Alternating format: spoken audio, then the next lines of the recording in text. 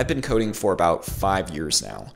And in that time, I've learned a ton of technology, had a bunch of different jobs, and I've gotten to what I would consider a successful point in my career.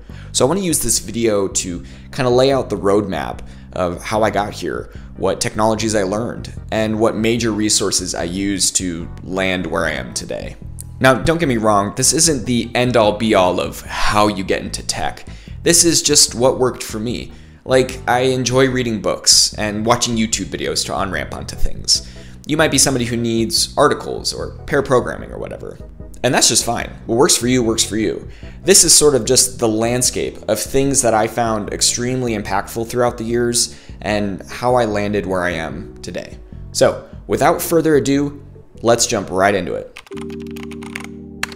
2017. I'm super burned out. I was doing nursing at the time, and if you had watched my transition from nursing into computer science video, then you know the whole journey.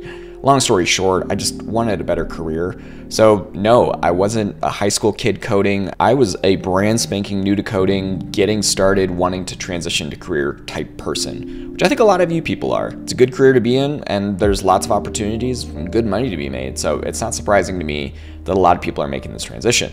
At the time, I definitely wanted to figure out if coding was for me and if I would actually enjoy the day to day. So, one of the first things that I did was I went over to freecodecamp.org. This place is mm, so good. This was my first introduction to algorithms and data structures and building websites and building backends and database design and all this stuff. This is where I had major introductions to all of these topics. So if you're thinking about getting into coding, if you're just not sure if it's for you, if you want to get your feet a little wet, Free Code Camp is awesome. The barrier to entry is extremely low. It's free. So you really don't have an excuse not to try this. My hair looks like it's on fire right now.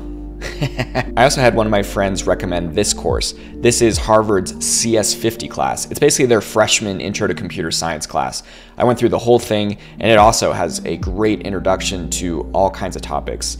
C, JavaScript, you do a little bit of Python, big introductions to algorithms and data structures. This is like the foundational computer science class and I really recommend it to anyone, even people who are in the field and don't have a great computer science background this gives you a really, really good foundation. So I remember after doing a bunch of free code camp doing this, and again, I was still working as a nurse, so doing this on my free time, still working, all that stuff. And I was getting really, really excited. So I started learning more about JavaScript, doing more of the free code camp stuff, and I ended up coming over to YouTube land, where I found just a plethora of really, really good content for learning new web development stuff.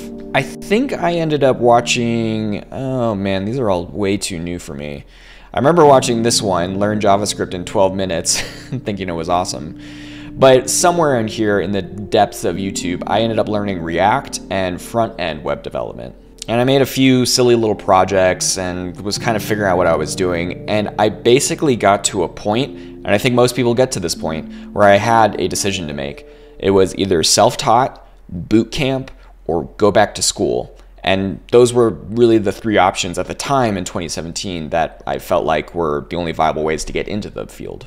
I ended up going with computer science degree at Oregon State University, which I was able to do completely online for, you know, basically two, three years. And somewhere down here, I actually ended up doing this post baccalaureate program, which is only 60 credits and basically takes credits from your other degree, my nursing degree, and applies them to this degree so you're not having to redo freshman English and math 101 and stuff. A lot of people have asked me why I chose to do this computer science degree and not a boot camp, which really would have only taken six months or even self taught.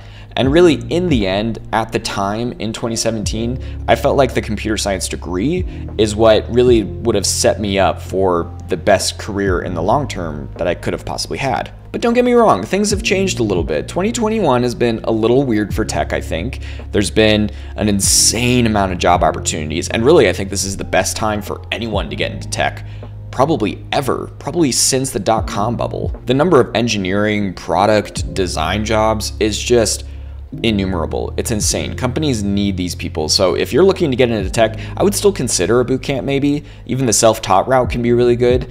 You know, there's whole videos out there about should you do boot camp or not. What was best for me at the time was a degree program. I felt like it gave me the best foundational uh, sort of way to get into tech and have a computer science background, which I ended up really, really enjoying. So 2018 was kind of split up into two giant chunks.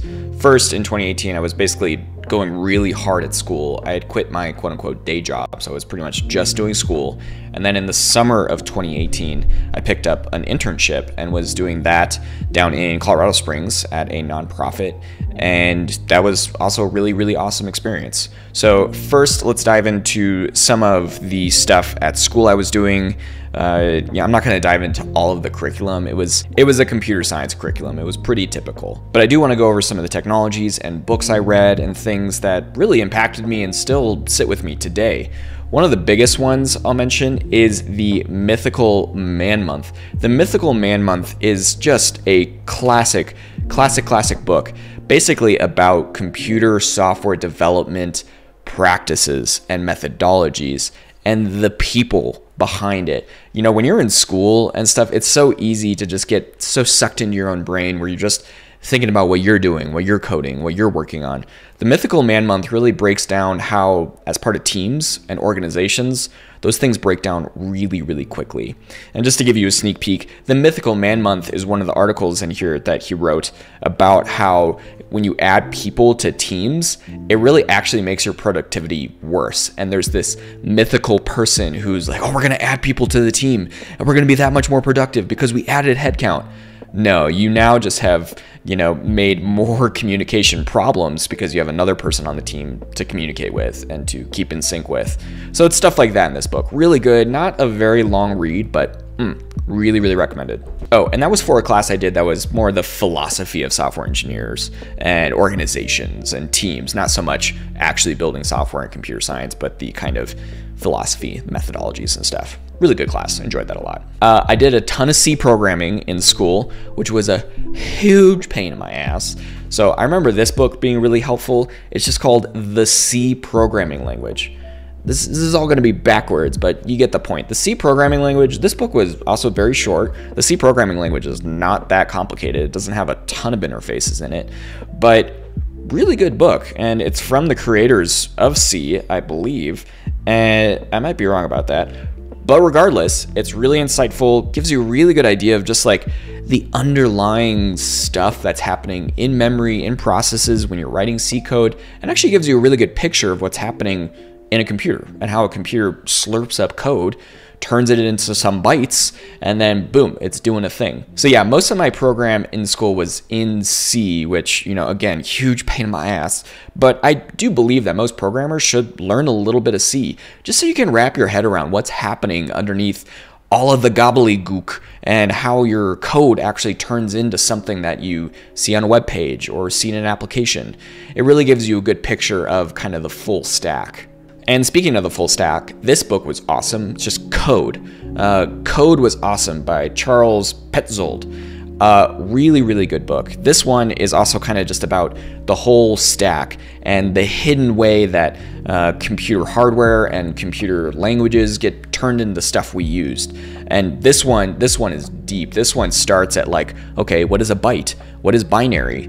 How? What is you know hex? Blah blah blah and stuff. And I mean, I think really the first, really the first half of the book, I mean, goodness, look at this. The first halfway through the book, they're still talking about logic gates and operators. So if you want a really deep dive on just how the hell a computer actually works, Code. This one's a great book. So yeah, a lot of low level stuff. I mean, you do get that in a computer science degree. I really enjoyed it, but again, not really for everyone in the end. Uh, this book kind of brings a lot of that more high level and gets into some of the algorithms and data structure stuff. This is grokking algorithms.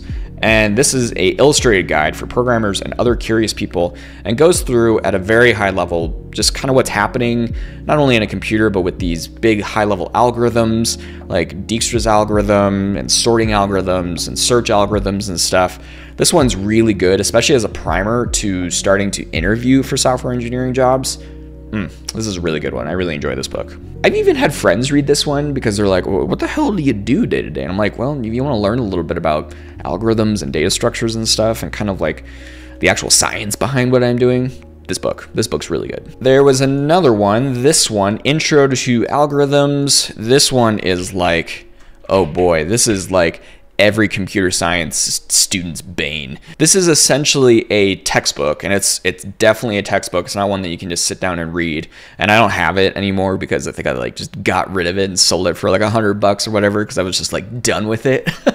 but it's a really great book. This one is like the Bible. This is the Bible of algorithms and data structures. I needed this book for three classes in my computer science degree.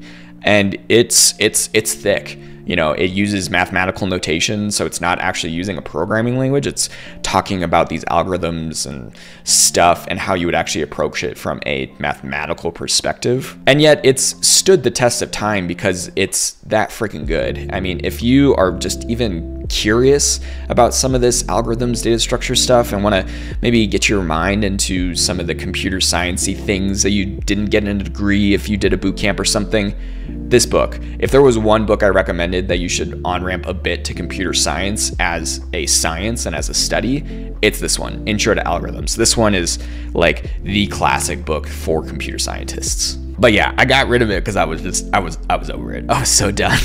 Maybe I'll get another one. I mean, they're not that expensive. I can get a used one for 43 bucks. $43 for all of computer science knowledge. Mm, good. This is another one of those. Oh, this is this is a thick boy. This is a thick boy. This is the Linux programming interface. Uh, this one was one of my textbooks for my operating systems class, and like I, I took a, a, networking class and a parallel programming class.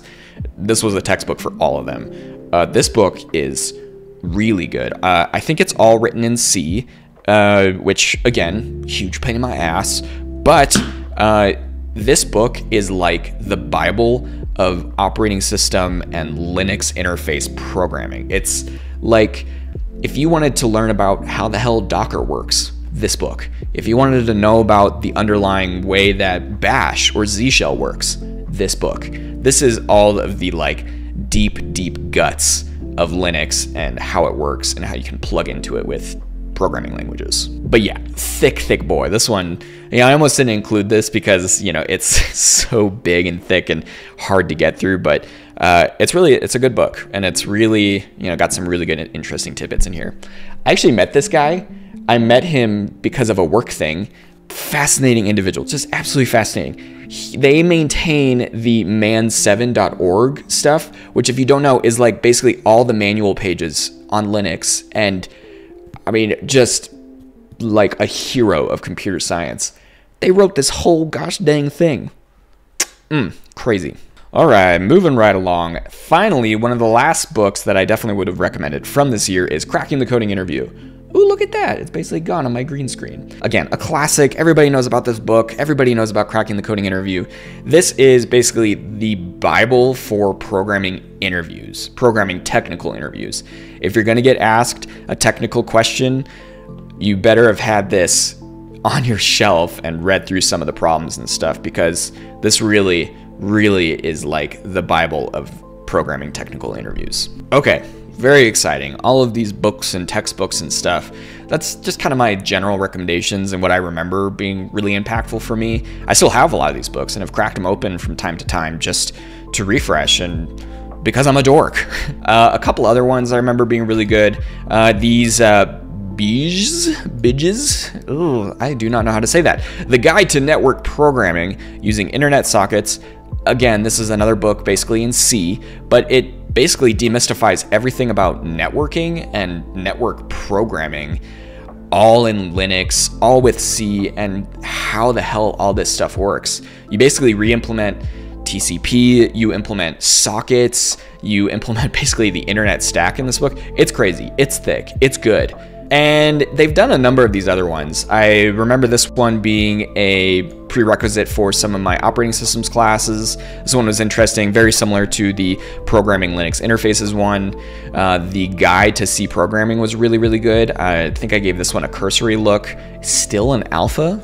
they probably haven't touched this one in years. But still, like all this stuff, and there's other ones too. There's one for Python that this person has done. That's really good. And these are like really high quality things. I also remember at the time getting like really into the command line and Linux stuff. And as you can obviously tell, I'm just like a Linux dork at this point. I read through that whole friggin' textbook about Linux programming interfaces. So I remember going through this repo, but TLDR, this is kind of the like big meta like things that you could learn about the command line and getting just really really good on the command line.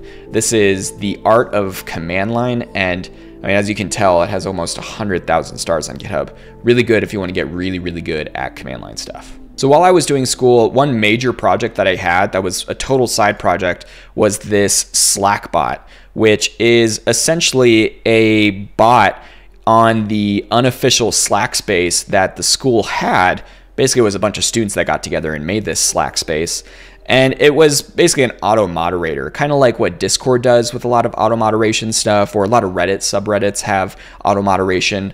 I implemented a bunch of this in JavaScript nonetheless, mostly because it was easy to plug into the Slack APIs and blah, blah, blah, blah, blah, all this good stuff. TLDR, I had a major side project that I could put on a resume, and this, this actually helped me get my internship in 2018, and I think was actually majorly impactful in saying, hey, I created a service that did a thing for hundreds and hundreds of people on another service on Slack. And that's a big deal. I bring this up because I think that having a major side project can actually be really impactful, especially when you're in school, in a boot camp, when you're learning, to put on a resume and say, I did this thing. Look at it. It's so good. I hire me. So that essentially brings me to the next thing that happened in 2018 that was really big and impactful was my computer science internship. I took a software engineering internship at a nonprofit in Colorado Springs and I was doing a bunch of JavaScript. I mean, probably because they saw my other uh, project in JavaScript. And they said, oh, this guy knows JavaScript. Let's put him on the JavaScript team.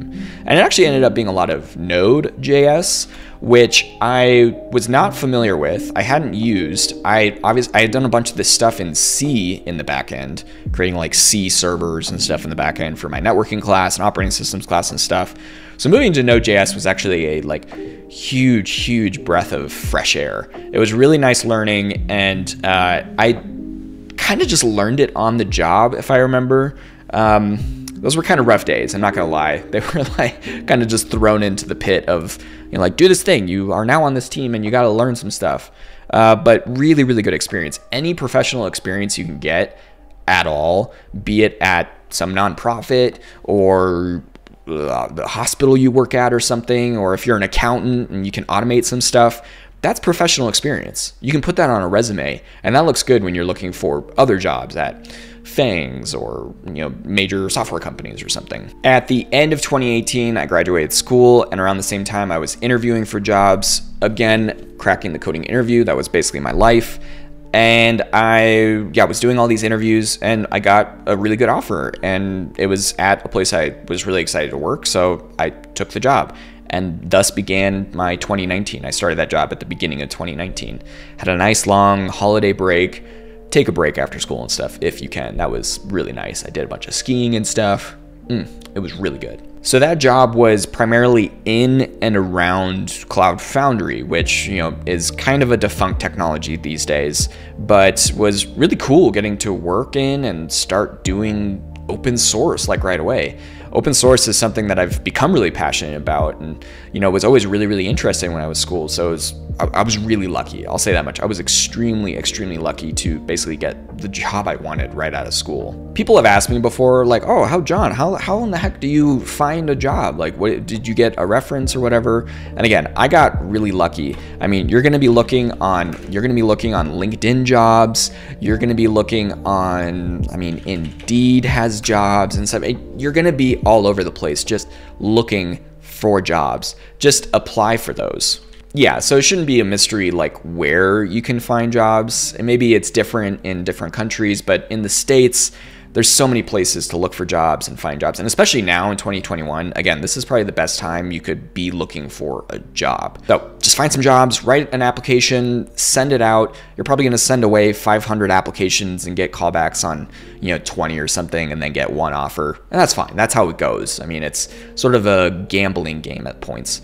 But having a reference is always really, really good if you can have a reference into the company that you want to apply for and work for. Write cover letters, that's always good. I wrote a cover letter for every single job I applied for, and I got a fair number of interviews, I would say. If you want a job, do what you need to do to get a job. That's that's basically all I'm saying is it, it, it's not going to come to you. You must manifest it out of what you're doing, which means you have to write the resume, you have to write the cover letter, you have to go find the job postings on all these sites and apply to them. So yeah, that's kind of my spiel on finding a job and how I got the job. Which is hard. It's hard out of school. You know, you got a lot of stuff that you've just learned, and now they're expecting you to, you know, read freaking technical interview manuals just so that you can apply. It's hard. Don't get me wrong, but do what you got to do. Study, write good resumes, and you'll be fine. Okay, so I was doing a lot of Go uh, on Cloud Foundry and stuff. And Go is a sort of newish language, maybe not so much anymore. Uh, but at the time in 2018, 2019, it felt pretty new to me. I didn't know anybody who was using it. I didn't learn it in school. I got hired at this job and I was kind of like, oh, I don't know a damn thing about this. So here we go. Eh, eh, Go puns are always great. So there's a lot of good Go resources out in the wild. Uh, this is a tour of Go, which is like an interactive development environment tutorial thing. Mm, very, very good. Go by example was really, really good. I actually went through this whole thing like the day before I interviewed because they basically interviewed me in Go, and I was like, well, I don't know Go, so I might as well just cram for the language. Yeah, but Go by example is really good. Uh, I've also used this site a lot for just learning random things. Like if you need Go, uh, scroll back up. Here's Go in a bunch of different languages. And it's basically just one single Go program that basically talks about every single aspect of the language. And I mean, this, this file can't be more than, you know, 500 lines or something.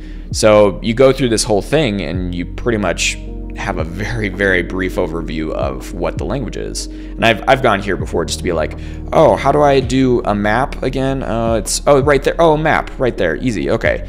So this site can be a really good reference just to like quick search for things. I also read this book, which is the Go programming language. And funny enough, it's very similar to the C programming language, and one of the authors is the same author. So about the same length and just as good quality. This book is really, really good. Goes through the entire language, everything you need to know, good practices. Really, really good book. So yeah, 2019 was a very, very full year, just learning a ton of stuff. And thankfully, it was all on the job. Kind of once you get your first programming job, you're really going to be just drinking from the hose. I was doing a lot with command line stuff. So I remember diving back into a lot of command line resources that I had picked up throughout school. I remember finding this really, really useful. This is the missing semester of your CS education. And it basically goes through a bunch of stuff that's like really good to know about, especially in the industry, like Git, for example, that everybody uses, or Vim or shell tools, or you know, common things that are just like really good to know on the command line. Uh, and I remember applying this very, very heavily to my job at the time. And this was extremely, extremely worth it. All right, that basically brings us to 2020, which I'm not going to talk a ton about because I was like really in depth leading a team on a very specific project area. I was still doing a ton of Go, a lot of the command line stuff, uh, but it was kind of deep into two product areas, primarily Grafana and Prometheus. Both of these are major open source projects, and the company that I was working with wanted to basically ship kind of our own iterations of these, both of them in the observability space. And if you don't know much about observability, it's basically how you can look at what your apps are doing in the back end or the front end and see, quote unquote, how healthy they are. A good example of this is the GitHub status page. Here's basically all the things that GitHub is seeing with their systems and their things. There was actually an incident yesterday, which was kind of a huge pain in the neck for what we were doing at work. Uh, but you know, that stuff happens. And you know, it's good to be able to look into what these things are doing. And that's essentially the product area I was in. So it was really in depth into those things, which is definitely very industry specific, uh, but it was good. I think, you know, at that point in my career, I'd been working one or two years professionally, and I really had gained a lot of subject uh, subject area expertise that I was able to lead a team and apply those skills.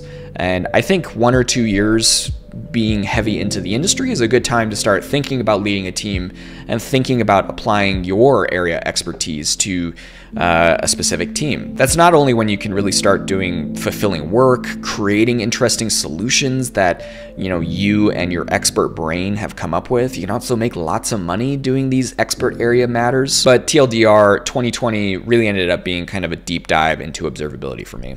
2020 is also when I started making content, tech content, and that has been really fulfilling in its own way as I've been able to share my interests and expertise with the community and the world and gotten really good feedback from people and it's been really fun and really enjoyed that. So in 2021, I actually shifted paths a little bit and joined a team doing Kubernetes and actually contributing to upstream Kubernetes and creating our own Kubernetes solutions and deployments and stuff, which meant having to on ramp to a bunch of other new technologies to me at least.